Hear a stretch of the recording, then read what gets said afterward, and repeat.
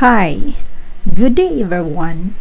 We are now in topics 11.3 and 11.4 of our basic calculus subject, which talk about how to compute the antiderivative of exponential and trigonometric functions.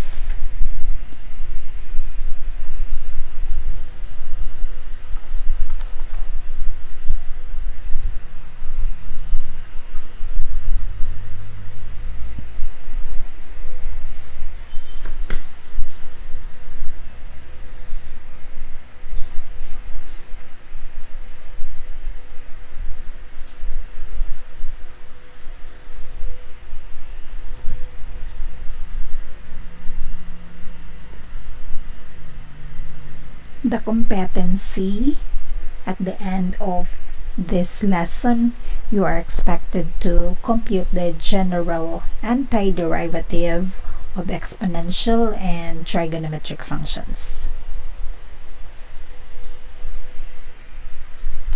In this lesson, we will present the basic formula for integrating functions that yield exponential and logarithmic functions.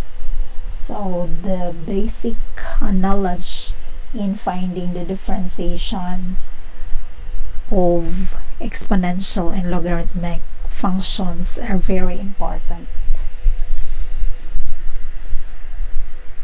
So theorem 12 states that the antiderivative of e to the power of x dx is equal to e to the x plus c. Second, the antiderivative of a to the power of x dx is equal to a to the x all over ln of a plus c. Here, a is greater than 0 with a which is not equal to 1.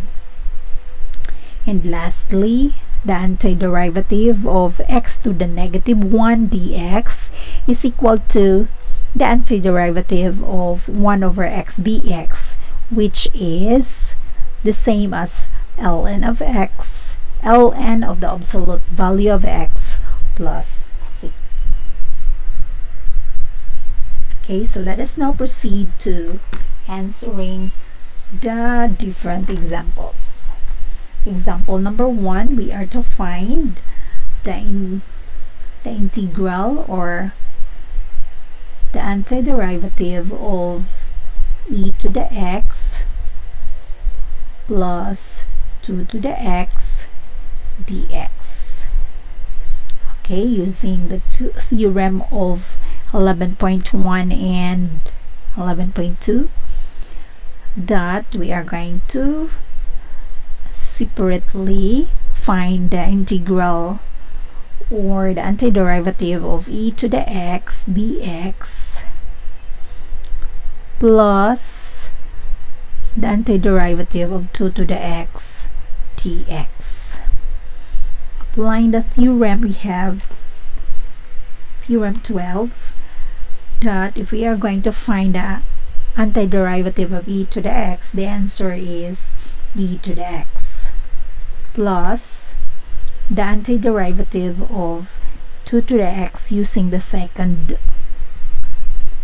second of the theorem that it should be 2 to the x over ln of 2 then plus c.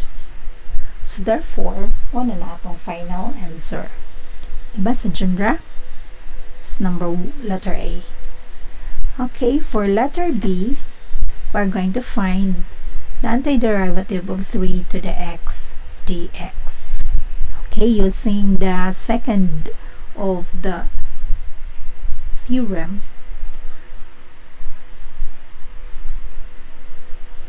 so we have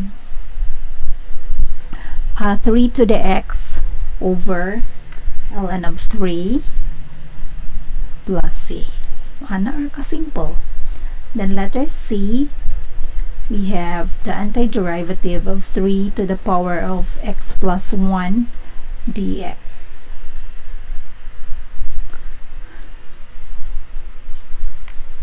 So, since ang atong exponent kay binomial man, ato sa silang buwago nun. That is similar to 3 to the x times 3 to the 1 dx. Okay? So that's why this would be similar to ang kani kay mo man mo coefficient so mo na mo gawas no 3 times the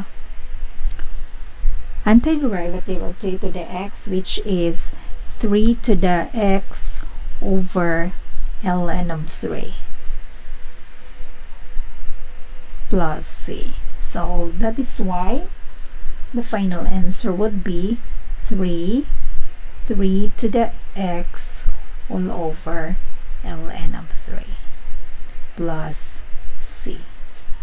Okay? And lastly, letter D is the antiderivative of 2 over x dx. This is similar to 2 antiderivative of 1 over x dx. And we learn in the theorem that uh, the antiderivative of 1 over x is the same as ln of x ln of the absolute value of x di plus c. So that's why the final answer would be 2 ln of the absolute value of x plus c.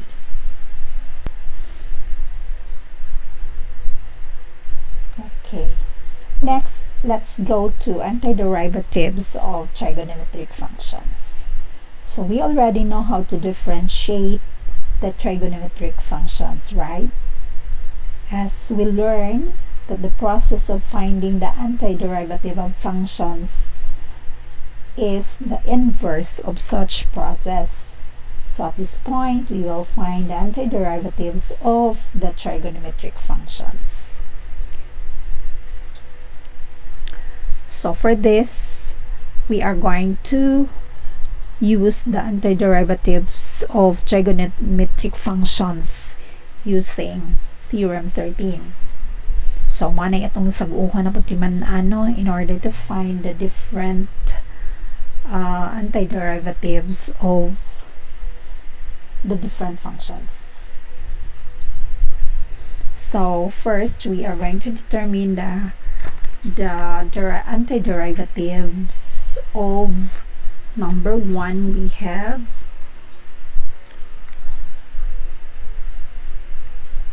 A the antiderivative of cosine x minus sine x dx. Okay? Using the theorem we distributed the antiderivative sign so antiderivative of cosine x dx minus the antiderivative of sine x dx. Okay, so finding the antiderivative of cosine x dx, di ano no, kaning sa second. So we have sine x. Then minus the antiderivative of sine. The antiderivative of sine is negative cosine. So we have negative cosine x then plus c. So we need to simplify the negative of negative cosine x. So that's why our final answer would be sine x plus cosine x plus c Okay? Letter B.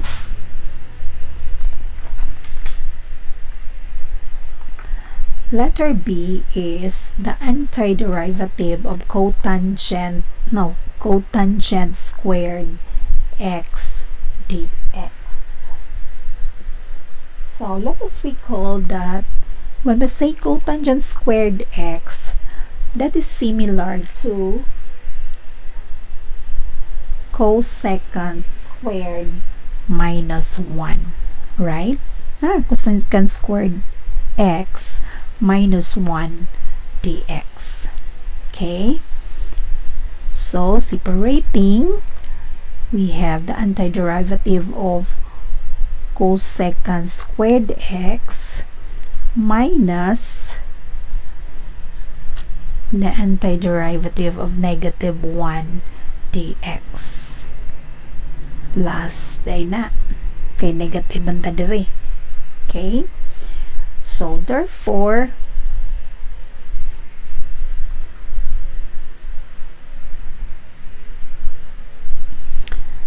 to find the antiderivative of cosecant squared ara na ah? Letter D it should be negative cotangent x and the antiderivative of negative x dx. So naka-learn ta last time no ang antiderivative sa x. No antiderivative sa dx is x. So kay negative 1 dx man na so it should be negative x then plus C.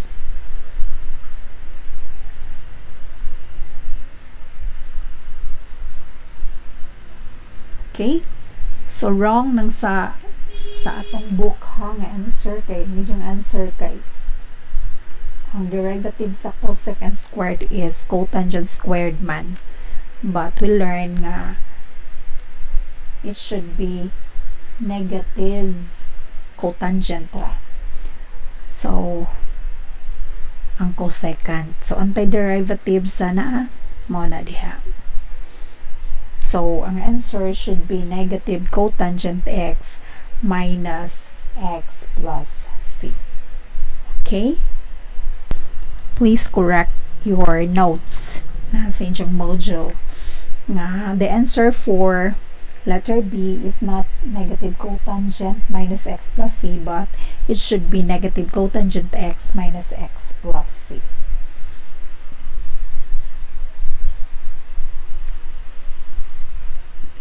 Okay, next is letter C, which is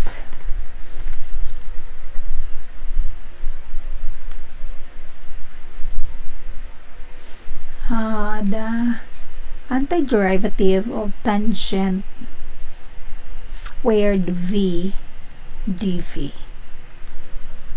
Okay.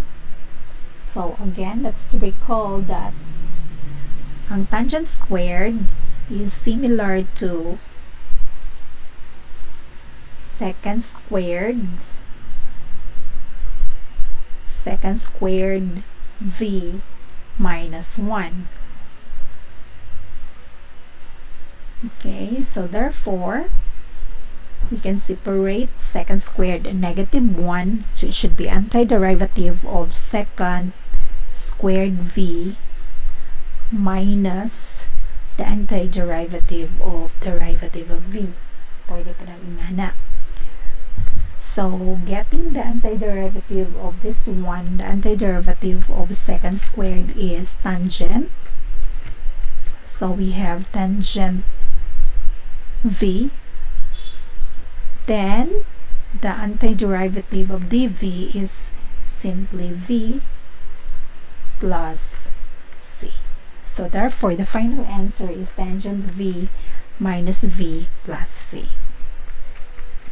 And lastly letter d we have to find the antiderivative of sine x over cosine squared x dx. Okay. So, since the denominator is cosine squared, we can express it as the antiderivative of sine x over cosine x times cosine x. dx which can be simplified to the antiderivative of sine x over cosine x times 1 over cosine dx. And that would be similar to sa sine over cosine that is tangent right? Tangent x and 1 over cosine is secant x. Okay. So getting the antiderivative of secant tangent x secant x this would be equal to secant x. Then plus c. Okay. So I think sa June raman na si Jano ang injurjong buhaton is apply all your knowledge injure na learn from the derivative para makuha ninyo ang saktong answer sa antiderivatives. Thank you for listening or watching. I hope you learned something today para maka-answer mo sa atong assessment. Okay? So, padadyon ta sa last topic which is topic 12. Thank you. God bless.